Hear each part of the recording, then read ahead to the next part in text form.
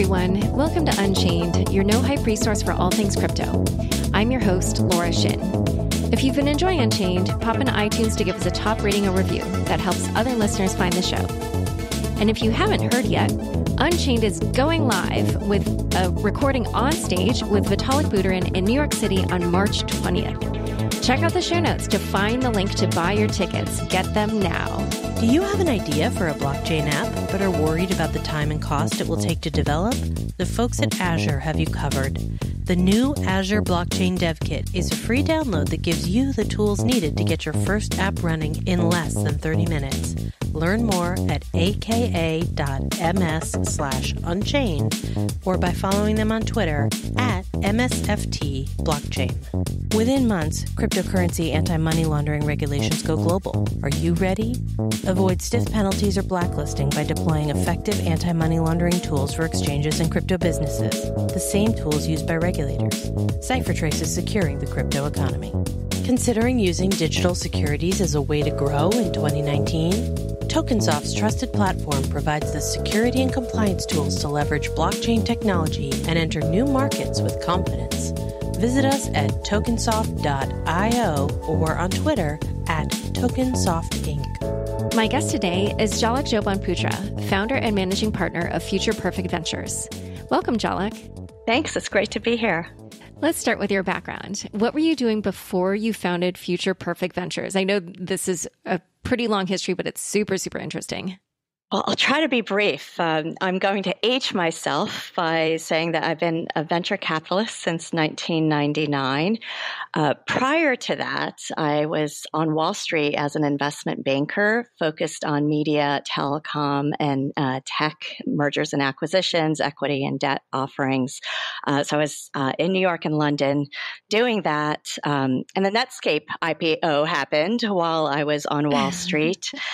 and um, it was was a really defining moment uh, for me, and I think a lot of people uh, when we saw kind of what the potential of the internet was and the excitement around. Um, uh, technology and I mean the stock obviously kind of popped more than I think any other stock had until that point. But it was also kind of opened up the era of, of, I'd say, the commercial internet. And I had always been very interested in media and communications and the role of kind of radio and television. Um, at the time um, when I was growing up, we didn't have the commercial internet. But thinking about how all uh, of these communication mechanisms uh, could help in connecting humanity. So I was born in Nairobi. I am Indian by background. So after we moved to the United States in the 70s, when I went back to a lot of these countries, um, it was really hard to call back or get a line out or, or feel connected to what was happening in um, in other parts of the country, let alone, um, you know, uh, across borders. So when I saw um, and started looking more closely at at the internet, my mind went back to how this could open up uh, education, uh, development opportunities, cross border trade. And a lot of the things that we're actually now seeing happen, not only with the internet, but with blockchain technology. And around 1999, I was given the opportunity to uh, go work at Intel Capital out in Silicon Valley. And it was kind of the best time and place, in my opinion, to learn the venture industry because we we're in the middle of a massive boom uh, with valuations, with a lot of the kind of hype and potential around the internet, but a lot of the infrastructure wasn't built out yet. And and that's really when we started to see the bubble burst um, in 2000 and 2001 and then also looking and, and managing some of the cleanup from that time period really has informed the way i invest today i moved back to the east coast uh, in 2003 and was with various venture funds, um, including the New York City Investment Fund uh, in New York City, a public private partnership that was very involved post 2008 financial crash to spur the development of the tech sector in New York City. Um, it's it's kind of hard to believe these days, uh, but in 2010, even there were very few seed funds in New York City.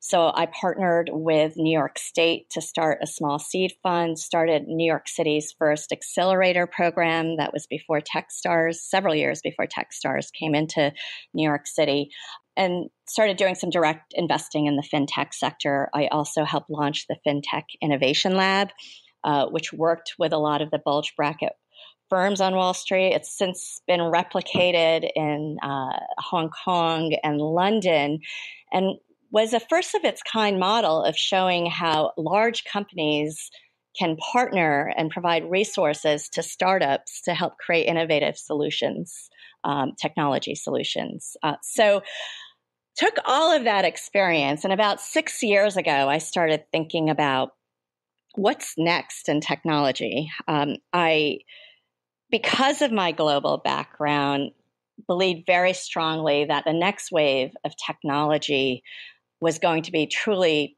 global. Uh, that there wasn't going to be one place, one region that kind of monopolized tech innovation.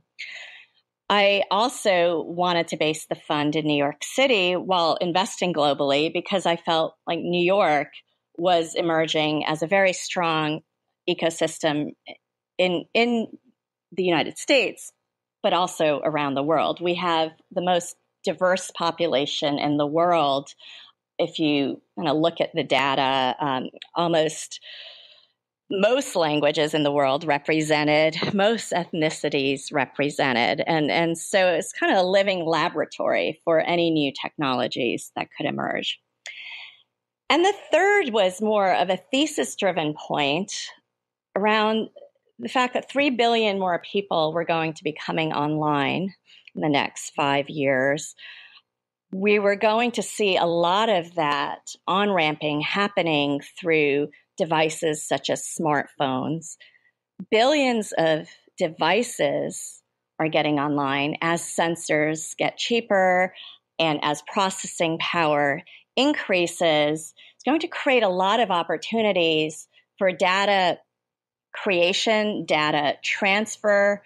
Um, and and so I was broadly thinking about these themes when I went to my first Bitcoin conference in 2013, and just became fascinated by not only the concept of a global currency, global transactions without intermediaries, but also what that meant in the context of all this data proliferation.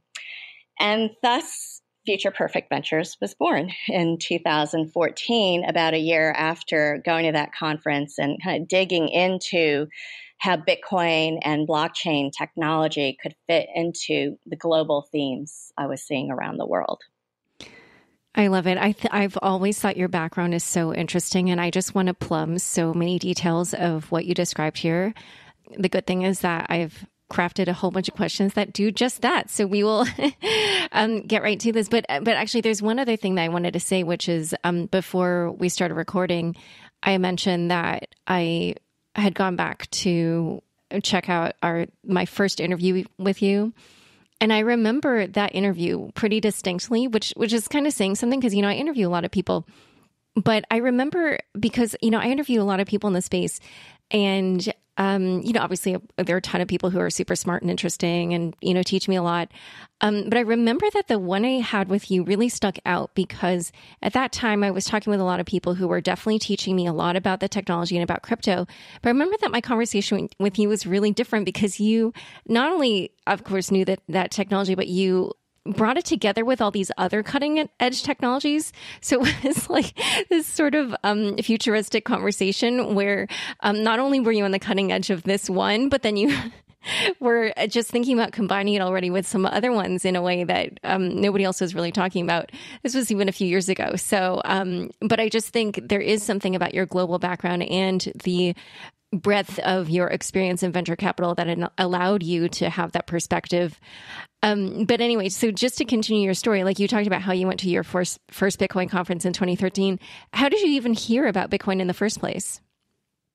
That's a good question. I'm trying to remember how um, I had first heard about it. It was um, just through random blogs that I was reading, and um, I always try to kind of read things that are outside of most reading lists um, because that's often where I get my strongest ideas. And I, I, think it was just some random blog post that I saw um, talking about. Um, this decentralized, uh, distributed currency, and and um, and I was particularly intrigued by the fact that it was created in the wake of the financial crisis. Um, I once wrote a blog post uh, post 2008 crisis uh, about uh, the opportunity that disruption uh, creates and downturns create. And I often think it's only you know, when we're really pushed uh, to be resilient, when we're pushed to be resourceful, when kind of everything that we've believed in starts to fall apart, but that's some of when the most creative thinking happens. And so, whenever there's been a downturn, and 2001 um, was an example out in Silicon Valley. I was in New York during the 2008 crash and in a lot of ways had a front row seat to it when I was at the New York City Investment Fund. Our parent company, uh, Lloyd Blankfein, was actually the chair at the time. Um, and and so was kind of involved in in in seeing how uh, Wall Street was being impacted and disrupted by what was happening, and then all the failures of the system. And so, having lived through that, I uh, when I came across the concept of Bitcoin and kind of the timeline of when it was created, I thought that was particularly um, uh, compelling. Um, and then when I started thinking about it in context of you know, these machines and IoT, Internet of Things devices, and and kind of the need for more trusted data transfers and the fact that our institutions had started failing us or we're not keeping on top of the latest technology. Um, it just all came together. Um, and, and so I, I was kind of already sold when I went to the conference, but became even more and more fascinated and couldn't stop thinking about it and all the possibilities, and very similar to the first time I logged onto the internet. And so, about a year later, you launched that first fund. What was it like trying to sell LPs on blockchain investments in 2014? Nearly impossible. um, well, the timing of, of the fund was very deliberate, and the timing of my first investments were very deliberate uh, from an investment point of view um, not from an LP point of view. And what I mean by that uh, is that Mount Gox happened, um, Silk Road was getting a lot of negative press. So the common narrative around at the time it was it was primarily Bitcoin uh, was that this was negative. It was being used for nefarious purposes. It wasn't going to amount to anything. And to me, it reminded me a lot of the early internet days. Um, and I keep drawing analogies there, but the analogies are very strong uh, from my personal experiences. And um, and and so I was actually more and more convinced as the Bitcoin community kind of still sur- they survived Mount Gox, um, they they survived Silk Road, and the creators, the entrepreneurs I was meeting, were more dedicated to their mission and their goals and seeing this technology out there that I thought if it didn't die with that kind of scrutiny, um, that there was really something here.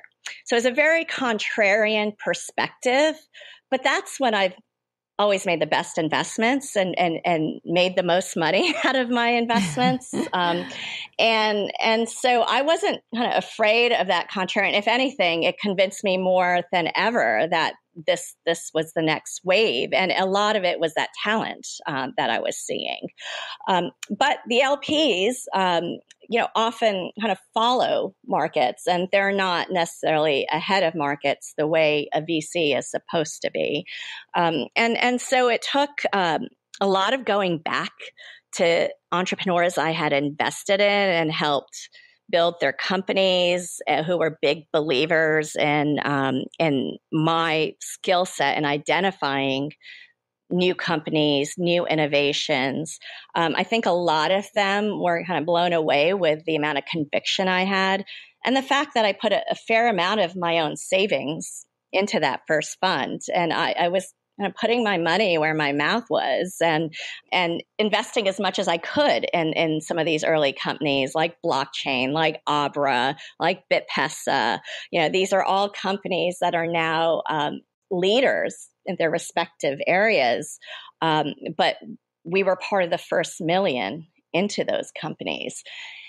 And so the LPs, um, I would say, you know, didn't really start coming in until um, I would say almost the, second fund in terms of larger LPs. But luckily, I was able to go back to enough people that kind of believed in, in in me, maybe not necessarily in crypto or blockchain tech, but had seen me identify other trends early and kind of wanted to put their faith in, behind me. All right. So now let's talk about Future Perfect Ventures. What is your strategy there and what do you invest in? So we're now investing out of our second fund. Uh, our first fund, we had a, a, thesis of decentralization. So blockchain has been a big part of that and was about 70% of the first fund. But the way I've always looked at the blockchain sector, at, you referred to this before, is that it's part of a stack of new technologies that are emerging uh, that are enabled by the global connectivity we already have, the broadband and mobile connectivity, cloud computing, better processing powers, faster chipsets, and better analytics, and so better artificial intelligence, machine learning capabilities. And so blockchain tech enables a lot of these technologies to you know, realize their vision better. So a machine needs to be able to transact with another machine and exchange data and, and say maybe it's a um, a solar panel that then wants to be able to transfer not only energy, but then log that energy onto a global database, that energy usage, and then through a smart contract, uh, kind of subtract uh, the payment from someone's bank account. That's a process that would take a lot of intermediaries in our current system to, to make happen. And so, this concept of a global ledger that is immutable, that provides audits, and, and then you can build smart contracts both for currency as well as data transactions uh, enables devices and machines to communicate better and in a more useful way in the real world. So that that was a pretty ahead of its time vision in 2014. With this second fund, we're we're now actually seeing the infrastructure built out to enable a lot of this to happen. So the way the first fund was very much about infrastructure build out, some early applications of, say, the Bitcoin blockchain, such as BitPesa, looking at emerging markets where we don't have kind of the same institutions in place.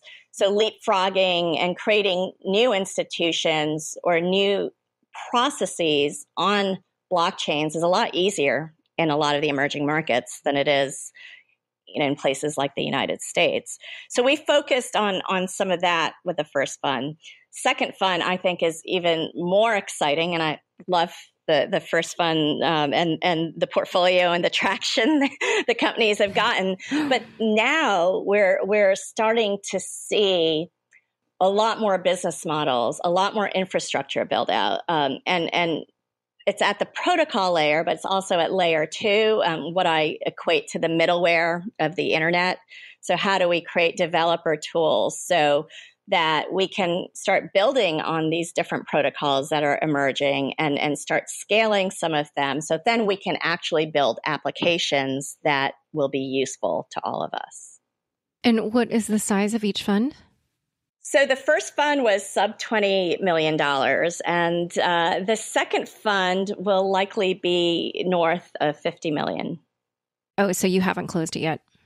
No, and I can't really comment as we are in the final stages of, of okay. the final close. Okay, yeah, but I did see Marc Andreessen and Chris Sacca some of your LPs. I wasn't sure if that was oh yes, yes, they have invested. Okay. Um, so we've been investing out of the fund over the last year, and we have nine portfolio companies in the second fund.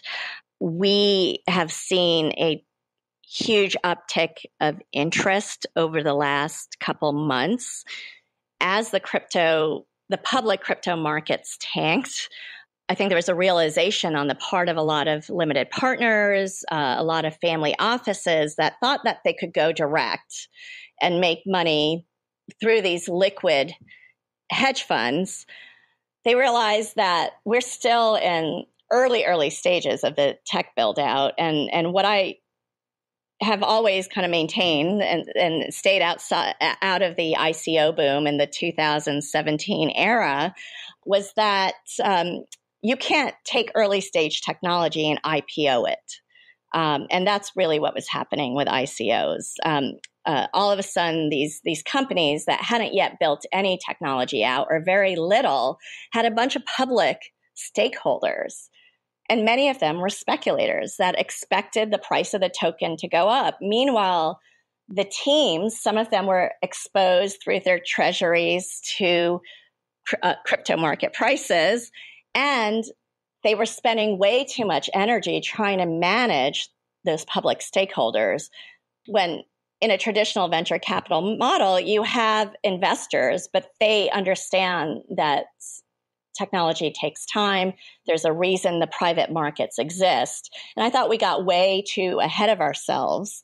And that theory has been validated um, over the last few months. And, and we stuck to the venture capital model of investing and and that's uh, generated uh, a lot of interest uh, from the LP community, uh, and and not only I'd say individuals and family offices, which made up our first fund's um, LP base, but also institutions um, who want some exposure but want to do it uh, in a way where you know they're not going to lose ninety percent of their capital in a year. Well, yeah. That so this leads me to another question I was going to ask you. So, is that why you have invested in traditional equity startups rather than in some of these decentralized token projects? But even like it sounds like you're shunning the fat protocols thesis because there are other VC funds mm-hmm. that have changed their structures to invest in things like Bitcoin, Ether, and other tokens. But you you don't think you're going to do that, or? Well, out of our second fund, we do have discretion to invest in digital assets broadly, which would include um, uh, protocols and liquid uh, cryptocurrencies. Uh, we have not yet done that uh, simply because the opportunity on the venture and equity landscape has been phenomenal, better than what I've seen in the last five years of running the fund. Um, and, and that's because we're starting to see talented serial entrepreneurs, and some of them I actually invested in 15 years ago. Now, seeing that this technology can help create business models that they weren't able to make happen in capital efficient ways 10 or 15 years ago. So, I. When, what's an example there? I, am going to use an example that's not necessarily within the portfolio because some of those have not been announced yet, and we can kind of reconvene in oh, a couple okay. months and discuss them at greater length. Um, okay. But but if you start to think about something like an Airbnb and the fact that there's just a lot of friction. While while Airbnb has reduced friction in terms of finding a place to stay, and offering more kind of access to people looking for different price points, there's still an onboarding process uh, that can be challenging for some people. They've been increasing their fees over time, so you know it, it's they're taking more and more out of uh, both sides of the transaction. Um, so the the people renting out their pl- places um, um, have to increase the prices to be able to cover the fees. So that's one institution that is controlling, while they've done a lot to reduce frictions in, in this temporary um, housing and hospitality market, um, they're still in charge of what the fees are and have a lot of pressure to go public. And, and so you can see how their business model is changing. I mean, Uber is another example of that. And so if you start to decentralize that process and allow entrepreneurs or owners of apartments to connect directly with the renters, um, those fees can come down substantially and you can create more efficient marketplaces. So, I mean, what I'm looking at a lot is who's created marketplaces over the last 10, 15 years and how do we create more peer to peer activity using decentralized technology um, to allow the fees to come down and offer kind of more agency on both sides of the transaction. So eventually getting rid of the need for a company like Air, Airbnb. And, and so we're moving towards that world. Um, and when you have entrepreneurs who have significant experience building some of those marketplaces, but also saw the drawbacks and the pressures of running those marketplaces, this technology can open up new business models and new ways of, of doing business. And, and so that's just one example, but you can take that to many other kinds of companies that were built during uh, the internet and, and social networking eras and think of new business models almost in, in, in any category. Um, I still think we're going to be, you know, a good five years off from the realization of a lot of these because the underlying you know, scalability, um, security, smart contracts, all of that still needs to be built out. And that's, I'd say, what we're primarily focused on with the second fund, but we're also looking at this next generation of marketplace um, on a global scale. We're going to keep talking about Future Perfect Ventures portfolio in a moment, but first, a quick word from our fabulous sponsors. Issuing a digital security on the blockchain can be a significant undertaking particularly to ensure compliance requirements are met. Tokensoft's trusted platform provides security in a world of uncertainty by working with top legal and financial experts so that your digital assets are secure. Tokensoft leads the market in providing technological tools to support tax, banking, and securities regulations for issuers of digital assets. We are honored to have supported leading companies in 2018. To learn more about issuing digital securities successfully, visit tokensoft.io or follow them on Twitter at Tokensoft Inc. Face it, regulations can stall or kill a fast moving crypto business. New FATF and EU cryptocurrency AML laws are coming soon. You could be hit with stiff fines or blacklisted, no matter where your servers are in the world. Prepare now. Deploy the same powerful CipherTrace tools used by regulators. Protect your assets, streamline your compliance programs, and keep your exchange or crypto business out of the regulator's crosshairs. Learn how effective anti money laundering tools help keep your crypto business safe and trusted. Learn more at ciphertrace.com/slash unchained. Ciphertrace is securing the crypto economy. Getting your blockchain app off the whiteboard and into production can be a big undertaking. From connecting user interfaces to integrating disparate systems and data, blockchain app development can be time intensive and costly. Well, the folks at Azure have you covered. With a few simple clicks, the Azure Blockchain Workbench can create a blockchain network for you, pre integrated with the cloud services needed to build your app. And with their new development kit, users can extend their app to ingest messages from bots, edge devices, databases, and more. It's free to download and gives you the tools you need to get your first app running in less than 30 minutes. To learn more about the dev kit and how to get started, visit aka.ms slash unchained or follow them on Twitter at MSFT blockchain. Back to my conversation with Jalak Jobanputra of Future Perfect Ventures.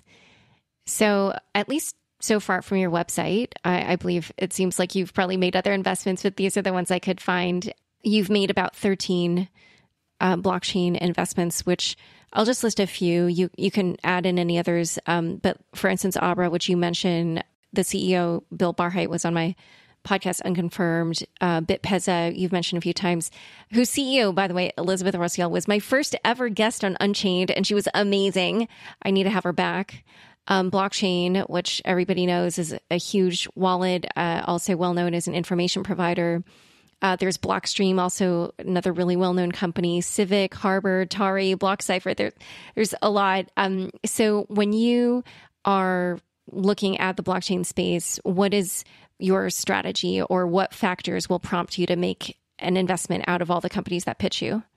Well, first and foremost, it's it's about the entrepreneur, um, and what I really look for on that front is resiliency. Um, this is a market that is very nascent, very early stage, um, and there. Whether or not an entrepreneur has experience before, I want to see kind of a maturity around the challenges of such a nascent market. It's a maturity on the part of the entrepreneur. Um, and that can be an entrepreneur that's 19 or it could be an entrepreneur that is 60 years old. It's just understanding that there are going to be challenges uh, and it's not going to be a straight line to success when you're building with such new technology. And there needs to be a collaborative, collaborative effort with stakeholders, including any investors.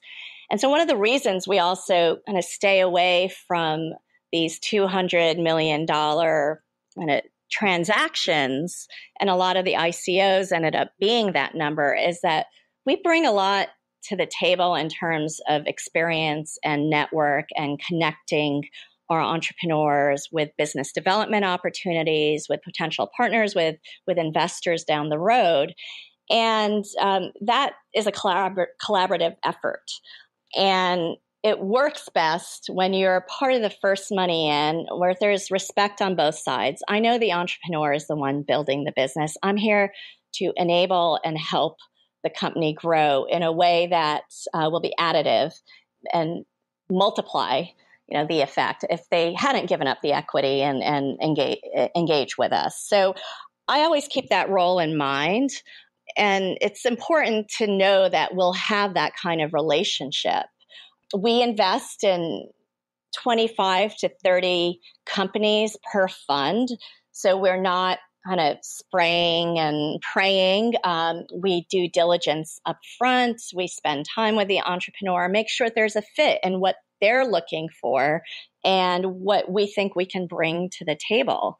And those are the the best success stories. And if you look at our portfolio, um, these are all entrepreneurs, even if they've raised, you know, hundreds of millions of dollars since our first million into the company, uh, we we still talk all the time. Uh, I'm still making introductions for them. They're still calling me for advice, and it's like seeing children grow up. But you're kind of always there, and and you know I feel like we've all kind of grown up in the industry together, and will continue to. We're kind of in you know, maybe adolescence in terms of where the industry is. Um, maybe not even. Uh, maybe we're just starting to walk. So um, it's been it's been a really fulfilling process to see these um, great entrepreneurs that you mentioned build these companies and also kind of maintain that flexibility and, and contribute so much back to the sector because I think that's so key is um, is making sure that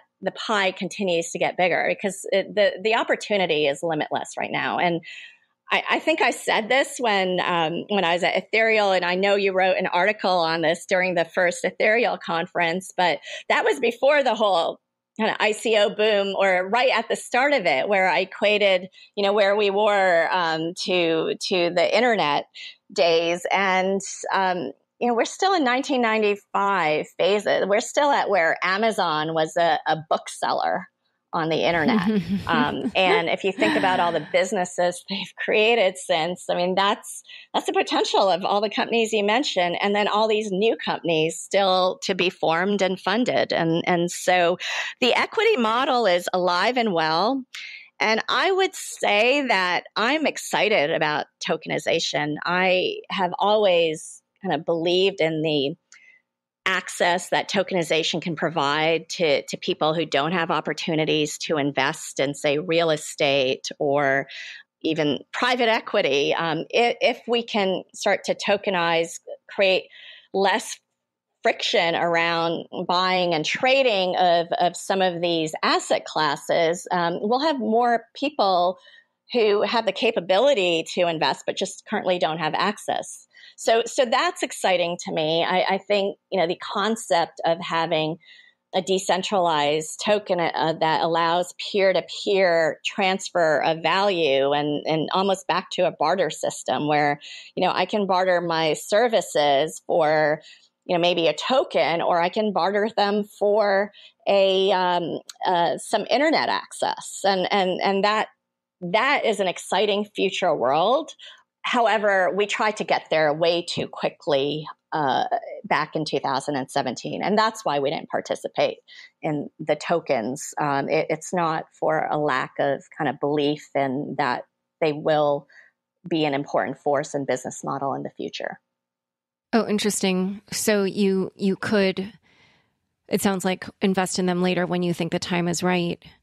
Yes, and, and num- a number of companies we've invested in, um, uh, many of who, which have not yet been announced, are working on different token models. And however, there, what's different this time around is that entrepreneurs are raising small amounts of equity, getting the right people around the table, and then looking at the underlying technology, how these different protocols are scaling, what they should be building on, or whether they should be building their own. So, is it layer one or is it layer two?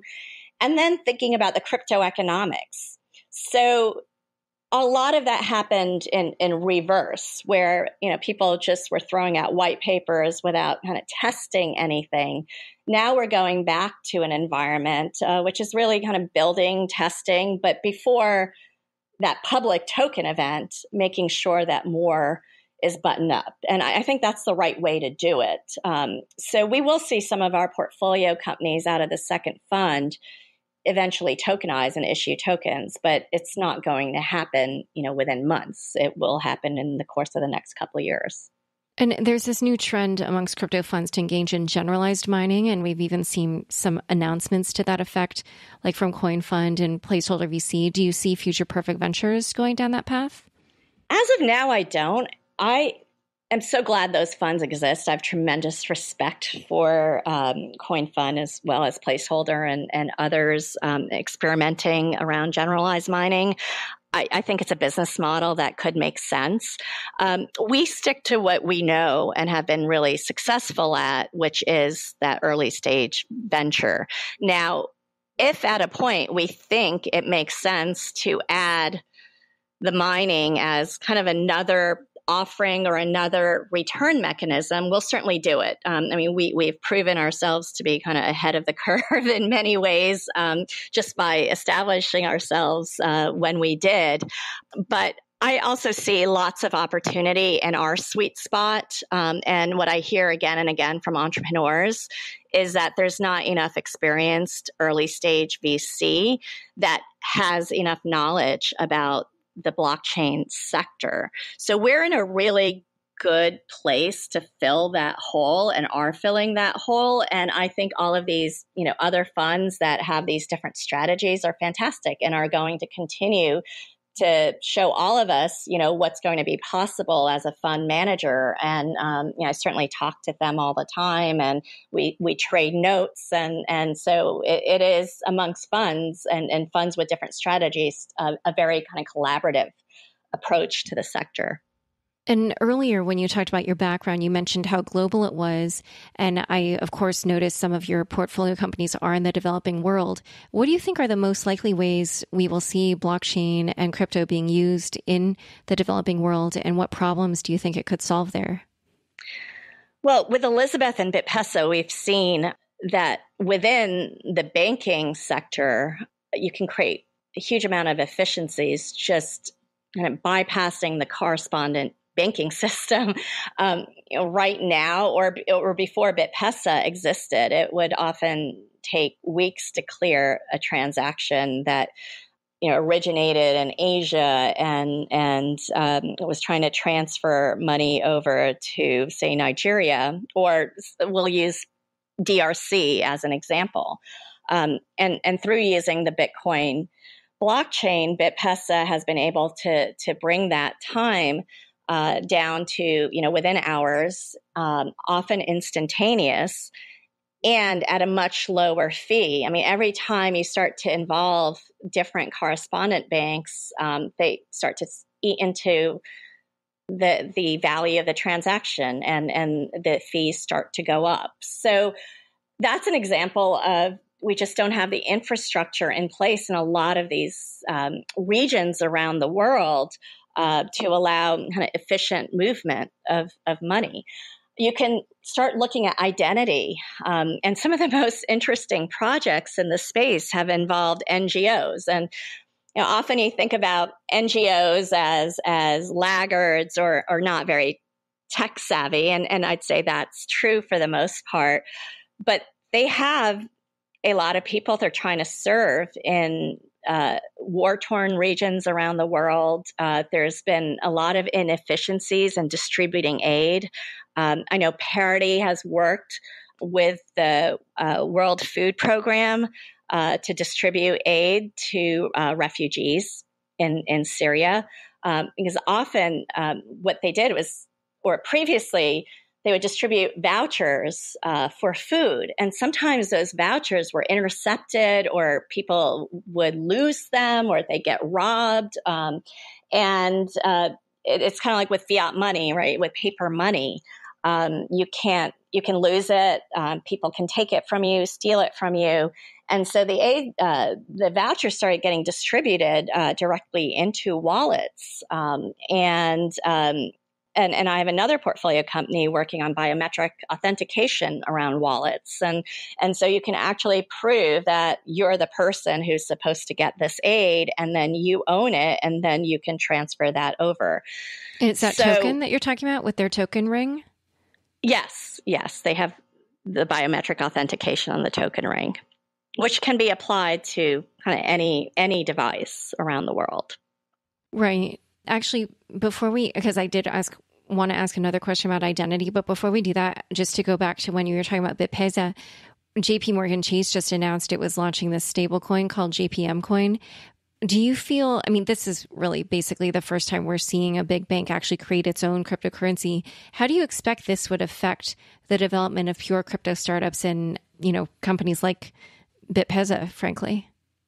Well, I think it was just a matter of time before banks started issuing these digital tokens. Um, and given the fact that JP Morgan has been working on blockchain tech for many years, they've probably employed more people than any other bank on, on Wall Street uh, in this sector. Um, it's really not a surprise uh, that they launched this token to basically just offer more efficient accounting and ability to do instantaneous transfers for their clients. Um, and, and so I think a lot of the crypto community is up in arms around it and, and the fact that you know some of the technology is being hijacked um, uh, by centralized institutions. But the reality is you can't create a technology and then mandate how it gets used. Uh, you can certainly put resources behind the use cases you want to see but at the end of the day, I think it's it's a positive that it, the technology is being used. That we're moving away from you know all the counterparties and all the processes that were set up in a time when the technology didn't exist to do to have alternatives but but technology has replaced a lot of, of the way we do business the way we interact with each other and and so it's good that we're seeing businesses embrace it and, and use it in ways that can create more efficiencies for their own business. I mean, I, I don't think you know JP Morgan is going to go away overnight. Um, now, I do think Wall Street and banks are under a lot of pressure, and that's why they're looking for efficiencies. If you look at their revenues, um, you know, around trading, around M and A, everything is down. So their business models are under tremendous pressure. uh, to find new asset classes, to find more efficient ways of, of uh, doing business and finding new customers. So, a company like BitPesa to me is kind of proved out that you can use some of this technology um, uh, for banking processes. I think JP Morgan's announcement is they're working with institutions, large institutions, and their clients. I can see them partnering with some of the startups in the space um, to broaden their reach or reach new customers uh, because they will have to do that at some point. So, to me, it's not a zero sum game. Uh, it is about opportunity um, and new business processes. I do think you know, just like we saw in the 2008 crash, and we've seen kind of in every downturn, we see companies go out of business. We see large institutions fall over time that we never thought would. Blockbuster is an example of one that you know, during Virgin. the early internet days, yeah. they they issued a press Borders. release that yeah you know, they didn't think the internet was a threat, that nobody was, act- they didn't believe anyone was going to watch, you know, movies on their computers. And, and, and so I, I think it remains to be seen who of the large institutions are going to survive this next wave of technology disruption. I don't think the fact that there's a JP Morgan coin is going to impact whether tokenization or decentralization can happen in other ways. It, it just uh, is is a company that's looking at new technology and, and embracing it for their internal usage and trying to stay relevant. So earlier we did talk about identity, and you were talking about how that's definitely a bigger issue in the developing world. Um, but I think the two investments that you've made in this area, Civic and Token Ring, and correct me if I'm wrong, I think they're mainly targeting the developed world, at least to start. So how do you think? How, how do you think this area will be developed and eventually come to solve the problem where it really exists? Yeah, I think about this question a lot, um, and and you're correct. The, those two companies are uh, right now primarily focused on the developed world. Um, although I would say both entrepreneurs, both Vinny and and Melanie, um, uh, have significant experience uh, with the emerging markets. I mean, Vinny was born in South Africa, and I know a lot of what drives him is this concept of self sovereign identity. Um, one of my first conversations with Melanie uh, was around um, uh, giving more people around the world access to their own identities. So, so that that topic does drive them, as well as a lot of other entrepreneurs I've met in the space.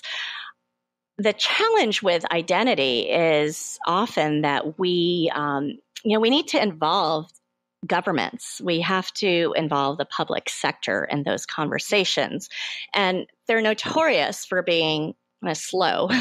and and so um, I, I think there are a number of projects that we'll start to see, um, you know, that are in pilot in, in some of these regions that we'll start to see whether, you know, they've figured out the public private model around creating more self-sovereign identities. I mean, the challenge is, you know, governments want to track citizens and who's coming in and out.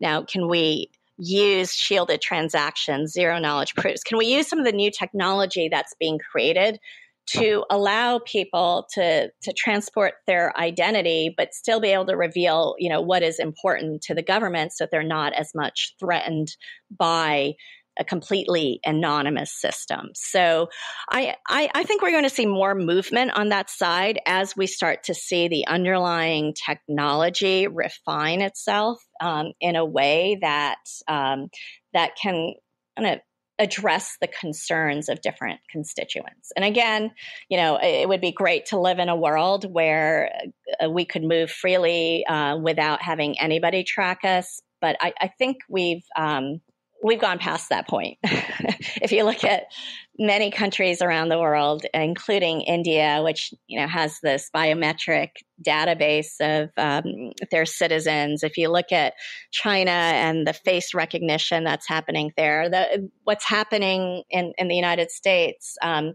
I, I I what I want to see is protection of our data to the extent we can, but realize that we may never have like fully anonymized identities or fully self sovereign identities. And I know that your uh, fund invests not only, of course, in blockchain, as you mentioned earlier, but also in machine learning.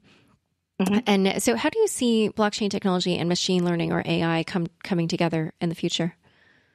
Well, there are a number. There are a number of ways. Probably the most exciting to me um, around AI, machine learning, and blockchain is kind of alluding to what I just discussed around um, shielded transactions and um, zero knowledge proofs, and and figuring out a way to offer data sets that are more public um, so that individuals, small companies, large companies can all utilize those data sets. Right now, um, we have Facebook and Google and Alibaba, these large companies around the world that maintain large data sets and they kind of have this monopolistic advantage of, of playing with that data and creating new machine learning models and um, but it's all kind of feeding back pretty much just back into their ecosystems uh, and their companies and wouldn't it be great? I mean, I, and I think about public health, and I think about all the different diseases around the world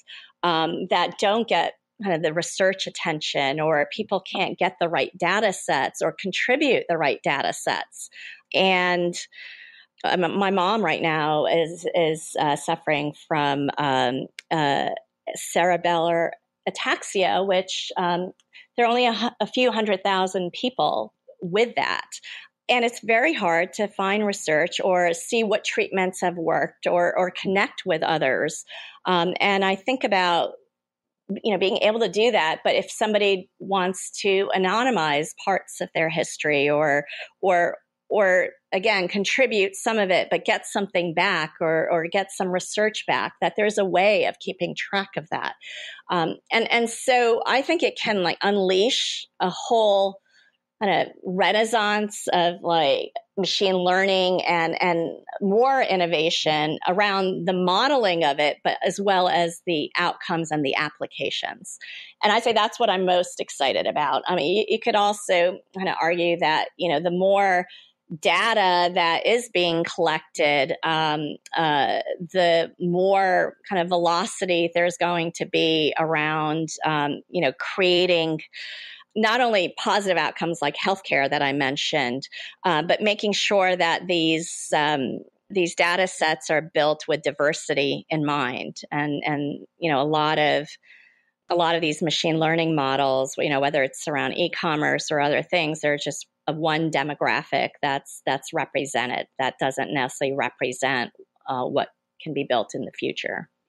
The New York City Economic Development Center partnered with Future Perfect and the Global Blockchain Business Council to open the New York Blockchain Center.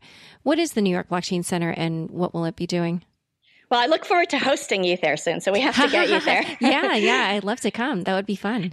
It's a really exciting initiative um, that uh, has been underway for the past year. Um, and I started talking to the city about um, kind of New York's relevancy and this this kind of more decentralized world. Uh, the, this concept of you know innovation can help happen anywhere, but what are the unique assets that New York brings to the table? And part of it is human talent, the diversity, um, the domain expertise from you know, having financial institutions, from having um, media uh, companies, a lot of healthcare, hospitals.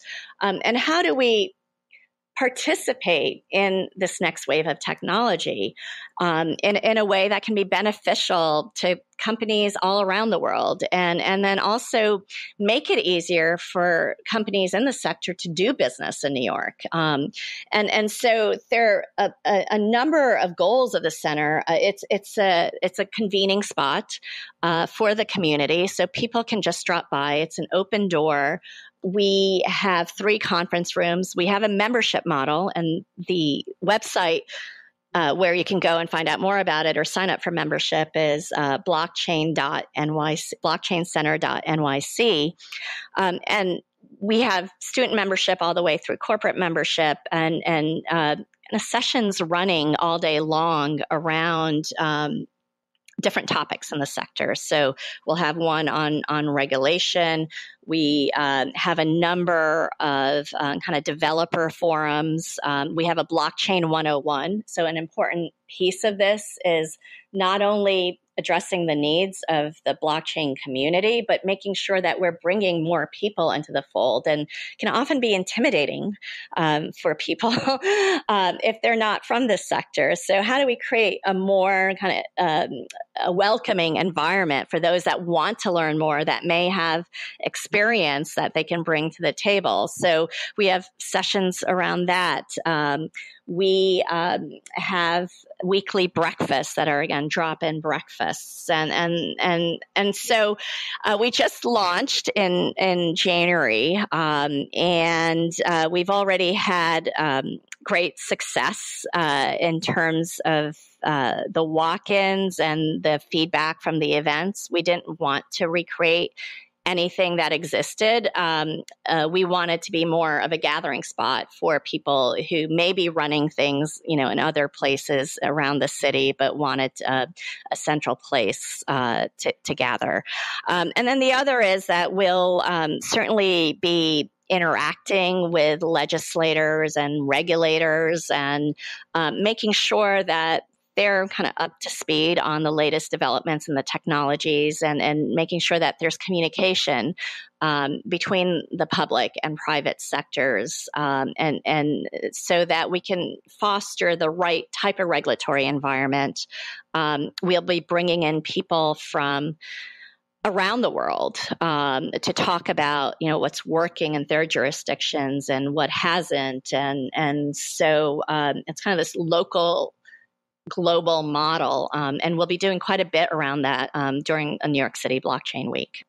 I bet a lot of people in the community will have pretty strong opinions about regulation of the crypto space in New York. So you might be hearing from them on that score. yeah, and I look um, forward to it. it. It's so important to have this communication open um, because you know, one of the things I've I've learned from being in the space, and even you know companies like BitPesa that um, you know have had challenges early days and on the regulatory front, not not as so not so much anymore, is that it's often breakdowns of communication that that lead to regulations that are oppressive, um, and it's it's you know, it's like any relationship, right? It's it's misunderstandings or um, uh, or a will uh, not a willingness to engage or listen, and and so my approach has been different from a lot of others, uh, which has been let's engage as early as we can. Let's educate. Let's um,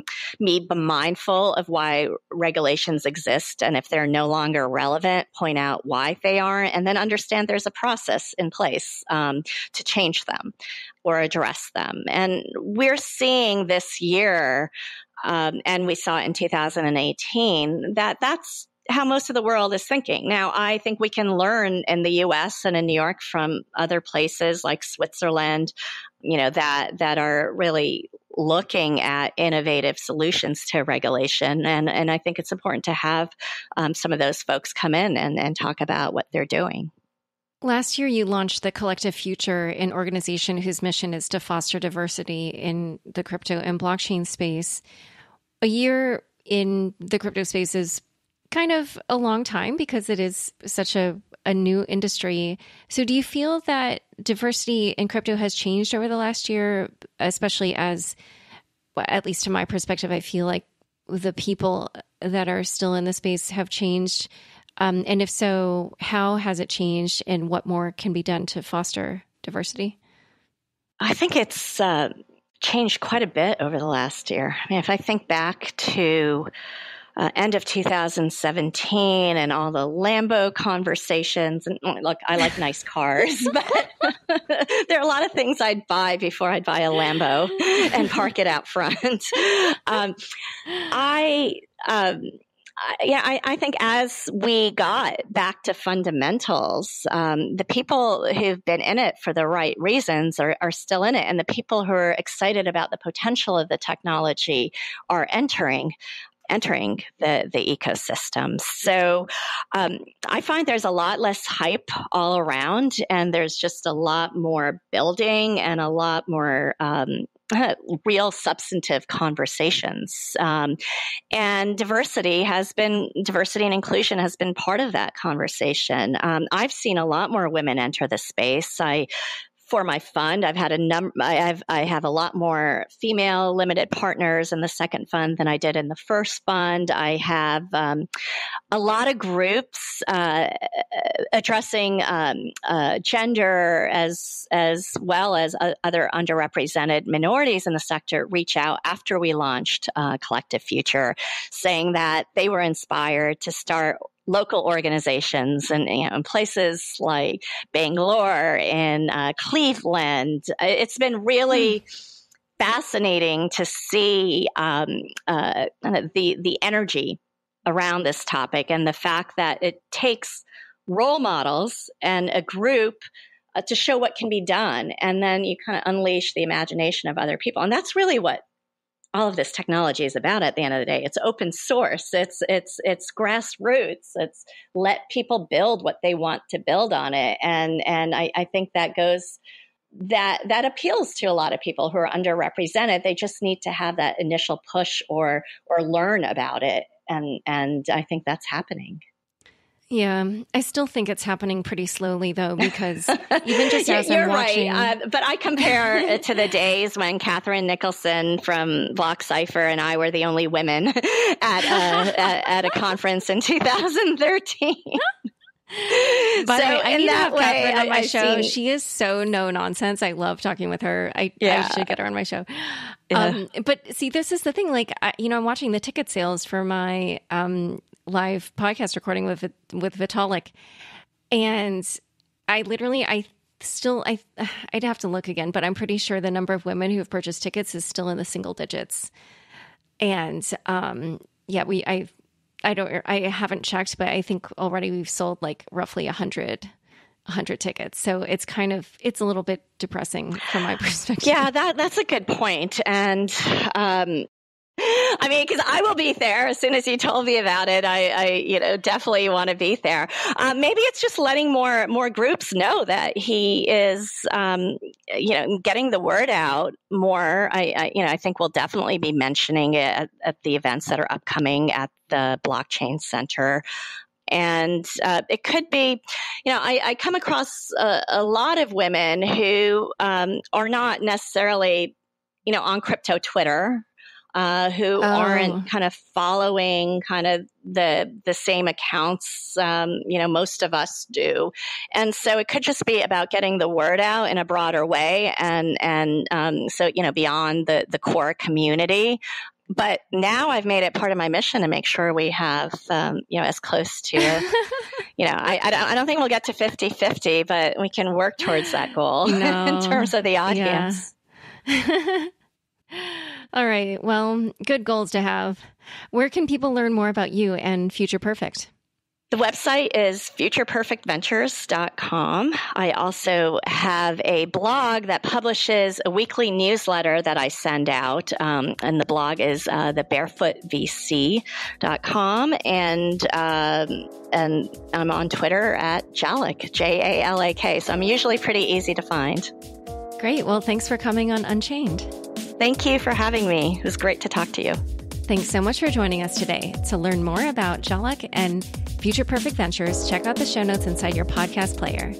New episodes of Unchained come out every Tuesday. If you haven't already, rate, review, and subscribe on Apple Podcasts. If you liked this episode, share it with your friends on Facebook, Twitter, or LinkedIn. And if you're not yet subscribed to my other podcast, Unconfirmed, I highly recommend you check it out and subscribe now. Unchained is produced by me, Laura Shin, with help from Raylene Gallipoli, Fractal Recording, Jenny Josephson, Daniel Ness, and Richard Stroffolino. Thanks for listening.